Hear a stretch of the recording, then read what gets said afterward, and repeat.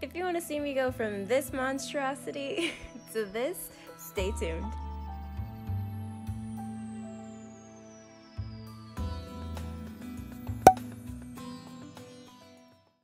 Hey y'all, so welcome to my channel. So today I'm going to be doing a wash and retwist all by myself thanks to the quarantine.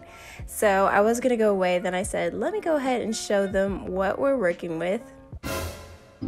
You better talk to her before I do, because I'm hurt feelings. That's up. And you can see that the locks have puffed up and there's a little bit of lint stuck in the locks from the back. But no worries, we'll go ahead and wash that all out and I know I look a mess, y'all. Extraterrestrial. But hey, it happens to the best of us. To lock my hair today, I will be using a homemade aloe vera gel liquid thing that I made myself. So this recipe is really simple. All you need is an aloe plant. You can also add any of your favorite nutrient-rich oils as well as some essential oils for some scent. It also helps to have a cheesecloth or if you have two strainers that works perfectly fine. So as you see you can cut it straight down the middle and extract it with a spoon and go ahead and plop that into the blender.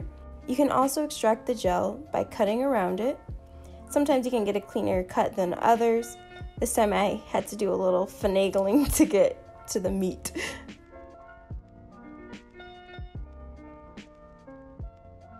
So extract as much gel as you want go ahead and hit blend. And what I use to strain it is a cheesecloth and a strainer because you don't want all of that um, fibers in it otherwise it'll get stuck in your locks and it'll take forever to get out especially once it dries because it dries really hard so you want to make sure you get it all out and you can just pour it onto the cheesecloth in the strainer and cut around that cheesecloth so you can use that again later.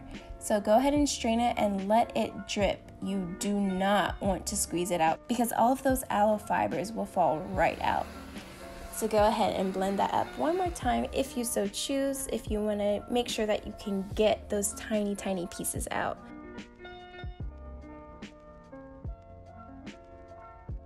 Once you let that set, the frothiness will subside and you can go ahead and add oils. I added jojoba oil, rose oil, and argan oil, all from Trader Joe's for under 10 bucks. So I just add a few drops arbitrarily based off of uh, how much the oils cost, pretty much. And I love this rose oil. It has a nice scent, so I didn't even use any essential oils because the rose oil has a nice scent itself.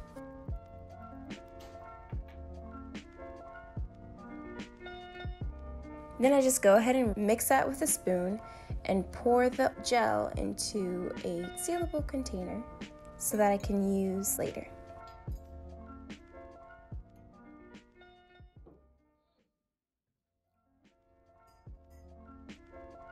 So I'm just gonna go ahead and hop in the shower. Uh, today I'm using black soap to wash my hair and I put on a cap because the black soap is a bar and I didn't want all those small chunks of it that you can see on my forehead to get stuck in my locks. So I went ahead and used a cap to lather my hair up, focusing really on the roots, making sure that that my scalp is nice and clean. So I went ahead and took off the cap just to make sure I could get a nice rinse and get all of the suds out but I was very gentle because my locks haven't formed yet, so I want to be very careful not to unravel them completely in the shower. You can see the black soap leaves your hair really soft. I love the way it feels. It's amazing. This is my face because I realized that I wasn't recording like I thought I was. But, anyways, there's the gel, and I'm just dipping my finger in it and making sure to saturate my lock with it. And I'm twisting in what I thought was clockwise, which was to myself, but to the viewer, it is counterclockwise. So I'm actually twisting in the opposite direction of my hairdresser. But all's well that ends well, y'all. It really doesn't matter in the grand scheme of things. If you mess up like this, just take it with a grain of salt and next time be more careful. So I'm going and adding a generous amount of that aloe gel onto each lock, twisting it in one solid direction, and then I clip it at the top. And I was clipping it at the bottom just so that um, it didn't unravel too much because I noticed that I wasn't getting as tight of as a coil as you know professionals. So I wanted to clip it at the bottom to make sure it stays, and also so it, there's not too much shrinkage involved.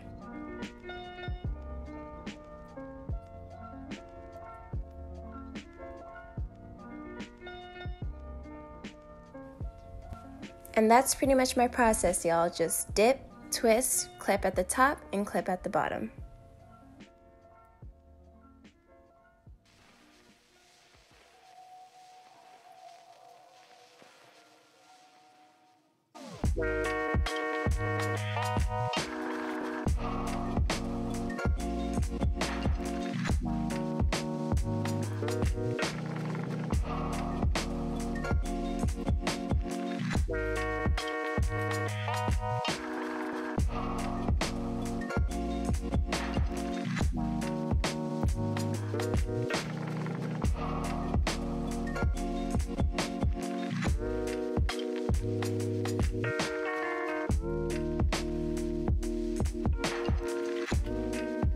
Thank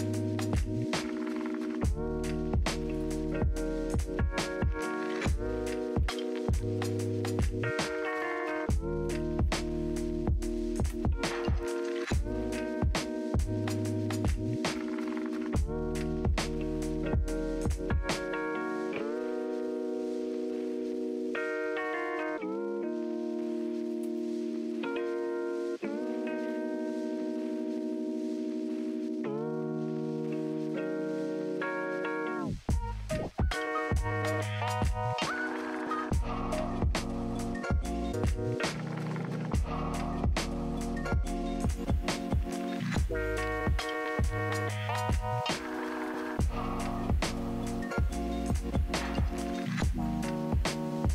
Doing that same routine to stay in the same direction.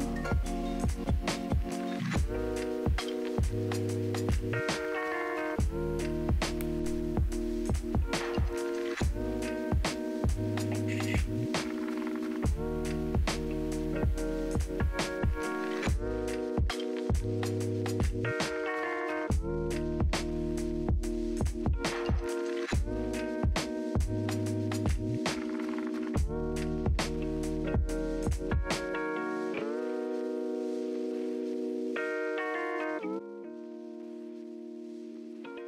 I'm just continuing on with that routine. And what's interesting is that the ones on the edge can be so little, so you can see how much smaller that one is on the left than the other ones on the right. And it was kind of weird twisting the small ones because it felt like I was harming them or something, so I was being very gentle. Um, even though you can't really tell because it's in fast forward, so it looks aggressive, but I was being gentle. Um, and I'm nervous about the small ones because you don't want them to like twist off. So be very careful if you experience the same thing with your locks. And you can just see the shape of the lock that I was showing off. You know how you can see the new growth from where it was last twisted. And then like it just kind of puffs from there until the end, which I'm not really sure why. And trying to um, avoid all of that, but alas. So just going ahead with that trend.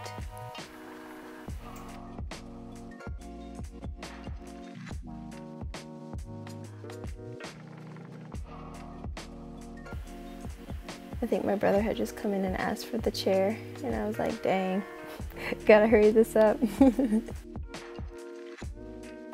it's just me doing another one from the front.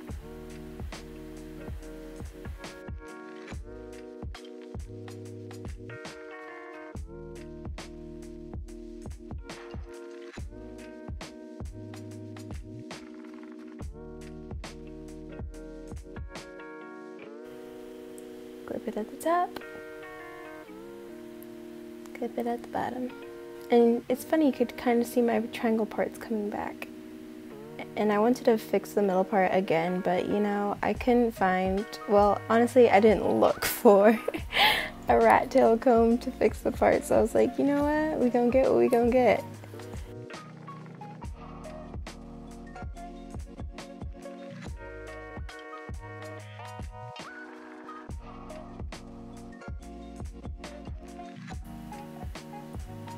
These clips can be quite painful, y'all, especially if you get it um, like stuck in your root in the wrong way. Ooh, Chile. So I went ahead and moved to the floor to sit in front of the mirror and finish this up. And this is what I look like completely done. And you can see a lot of it puffed right back up. I used nearly all of the clips on my right side, so I had hardly any left for the left side. So it was just a little puffy, and I was like, eh, whatever. So this is after several hours. I ate dinner, hung out, was on house party with my friends because quarantine, and uh, it was like midnight. I was like, let me go ahead and take these clips out. So this is it from the back. Um, and pretty much the only difference you can really see from before is it's not as stiff. Still is a little, but that's because my locks don't have weight to it. But what's cool is that you can actually see the parts in my hair, which you could not see before. So this is me. I tried my best, y'all. First time. I will be doing an update as I get better at this. And uh, subscribe, like, comment, whatever. Share it with your friends. Thank you for watching. Bye.